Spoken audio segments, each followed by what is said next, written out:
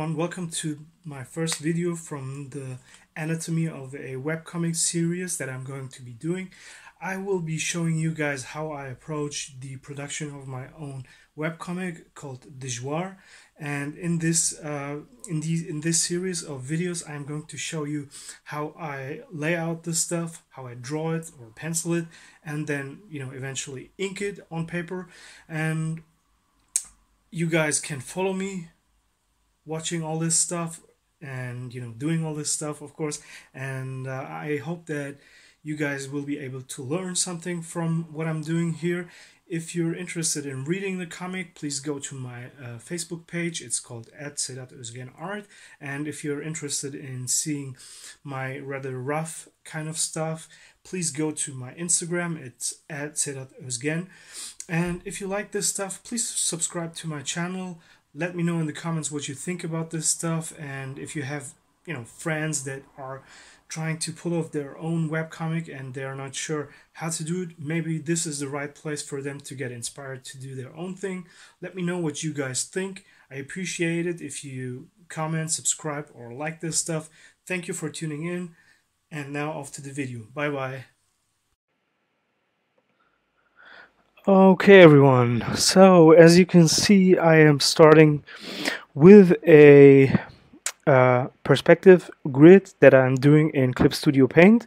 I am doing my layouts digital for um, these panels and the reason why I'm doing that is obviously because I want to be able to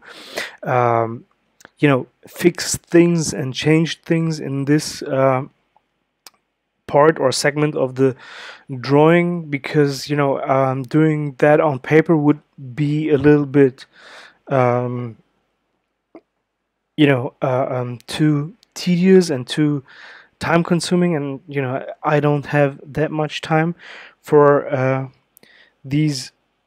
drawings. And I th think doing it digital also allows me a little bit you know to to you know contemplate and uh, change things that I usually wouldn't be able to change and you'll you know in just a few seconds you'll understand why that is because some of the stuff that I'm doing here doesn't work and you know I have the ability to change and add stuff as I go and if I like it I can you know keep it and if I don't like it I can just remove it without wasting too much time. And um, you know now now I've gone for um, the basically using two silhouettes to frame the uh, um, character in the center of the drawing. You know since our focus is supposed to be on the guy in the center uh, I thought that um, adding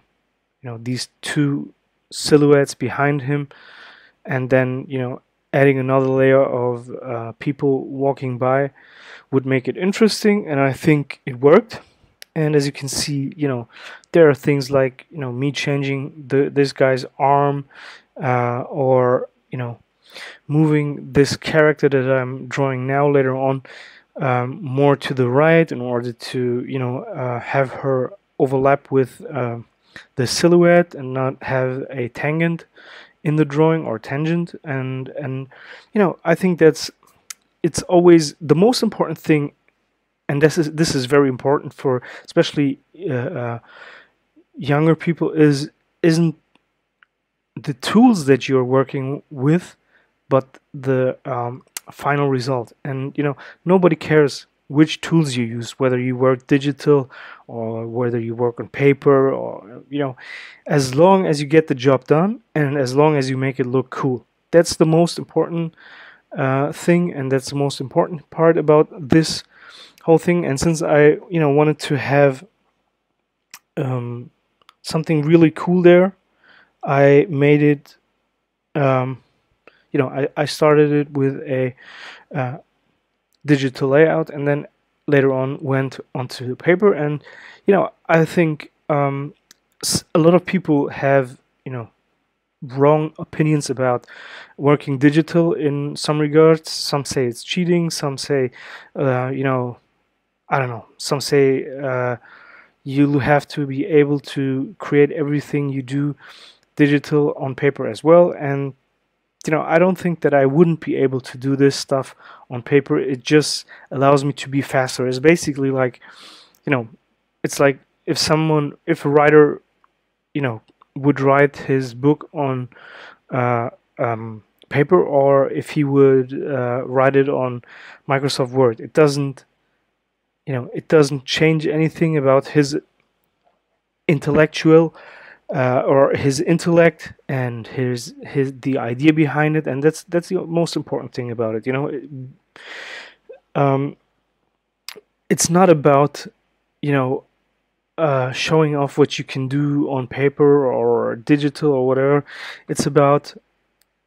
bringing bringing across an idea that you have in your head and you know for me the most important thing here is to present this story that I was, you know, harboring in my head for probably 15 years now, and I've never really uh, um, worked on it. And I, you know, I keep, I kept thinking about doing it, and then I, you know, I, I tried to do it in a full comic format, but obviously that doesn't, you know, it there it's too time consuming, and you know,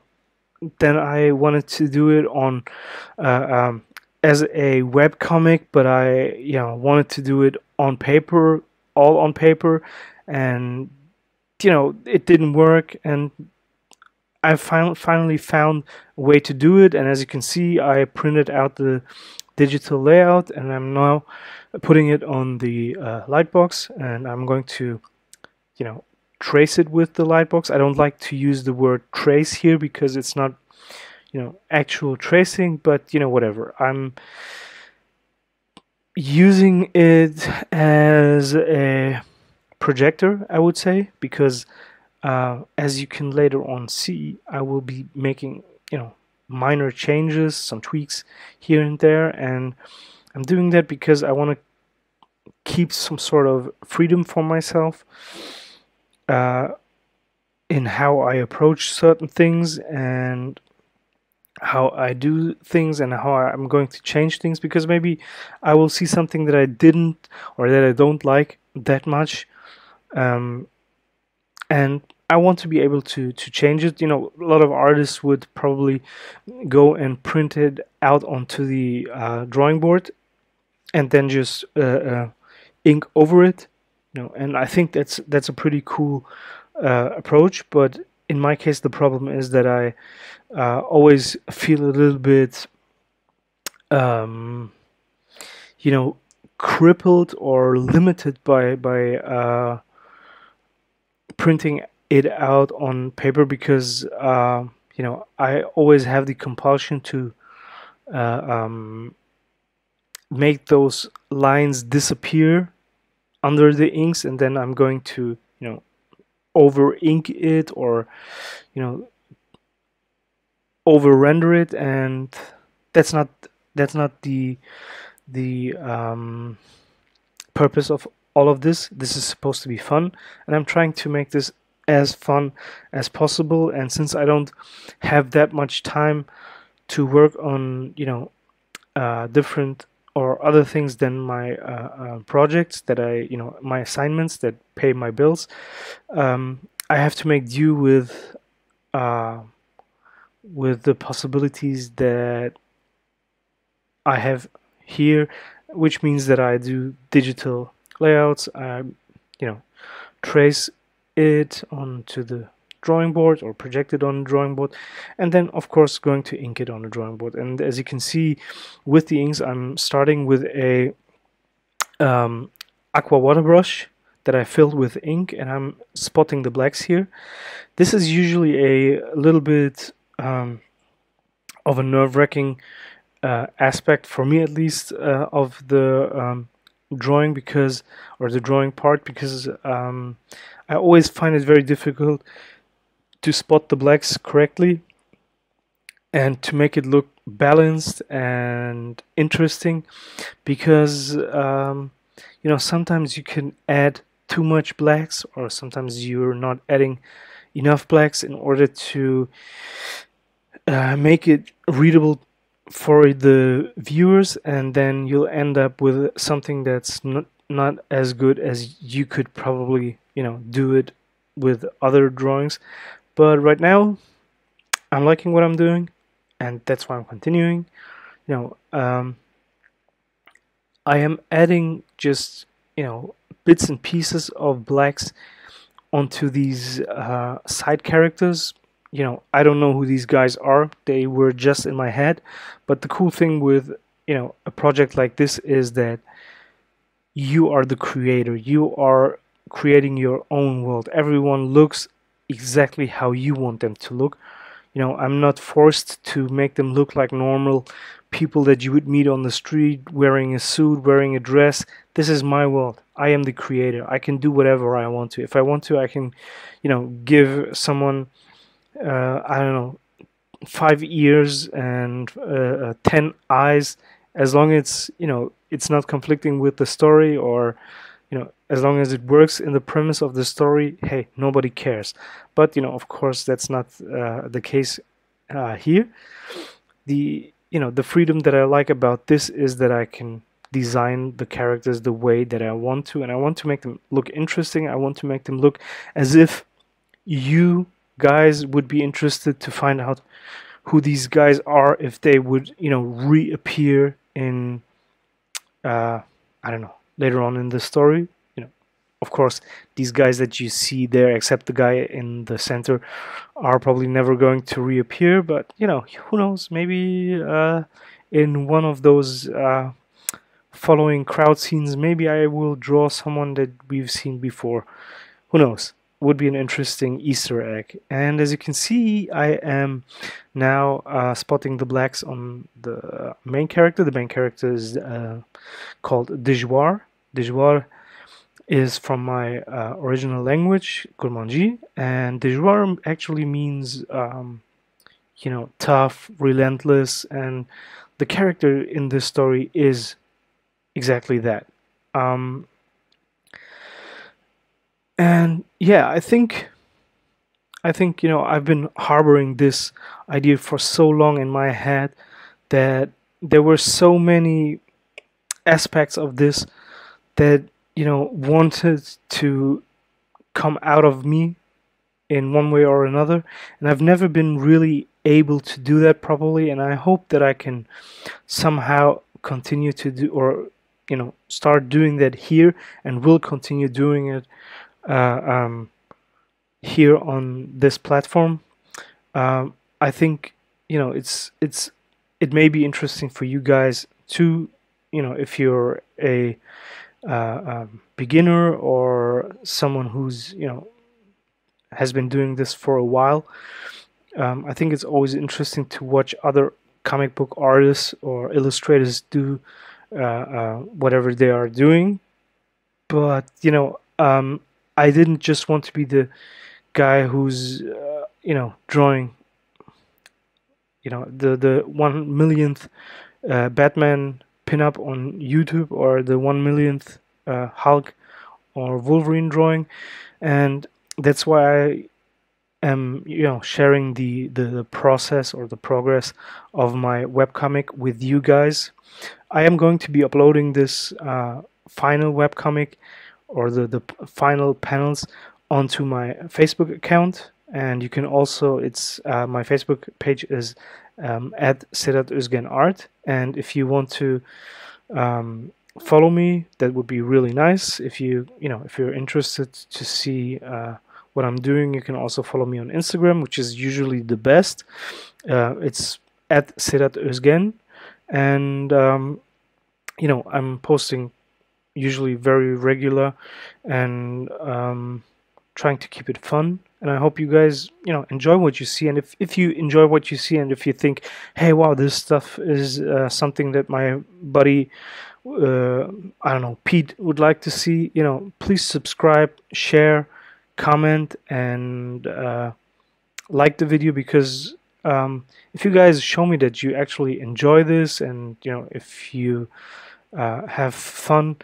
um, with this, you know, then I will be motivated to uh, post more of this stuff for sure, and uh, I will also, you know, uh, hopefully be able to continue it then because you know whether other artists want to admit it or not but as artists we also want want to you know know that people like our stuff. You know whether other artists admit you know admit to this kind of uh, uh, behavior or not is a different thing but in my case i have to admit that if people tell me hey you know i like your stuff i you know i really love this stuff then i you know feel like i'm more motivated to do it because then i know it affects people you know? Sometimes people come to me and they will tell me you know hey man your work is really inspirational for me and i love what you're doing on instagram or facebook or whatever. And you know it's totally unexpected because you know sometimes when when you when you're on facebook or instagram people won't you know tell you this but when you meet them in person and they tell you that they like your work and that your work inspires them that's a cool feeling. And you know i'm glad if i can inspire someone else. I mean obviously I'm not the next Jim Lee or Travis Charest, but I think uh, if I'm able to uh, entertain someone, if I'm able to inspire someone, then that's a cool thing, and you know, and uh, I hope that you guys can, you know, learn something from these videos because, um,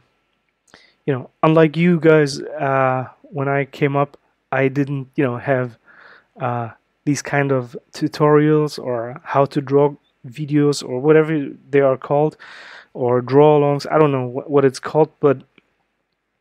you know, I would just I was back then I was happy when I when I was able to see like sketches from artists online somewhere and uh, you know I would have loved to to be able to see you know somebody uh, whose work I like drawings, draw, you know, creating drawing or a comic panel because I assume that I would have learned so much from these people. But you know, um, maybe these panels can be inspiring to you or your friends or your kids or I don't know, whoever. And uh, yeah, I am now adding details to the background to make the background look you know a little bit more realistic and also you know look as if it has been lived in and as if it has been used. And you know i i am not i don't like shiny science fiction kind of stuff. You know i prefer the grunge gritty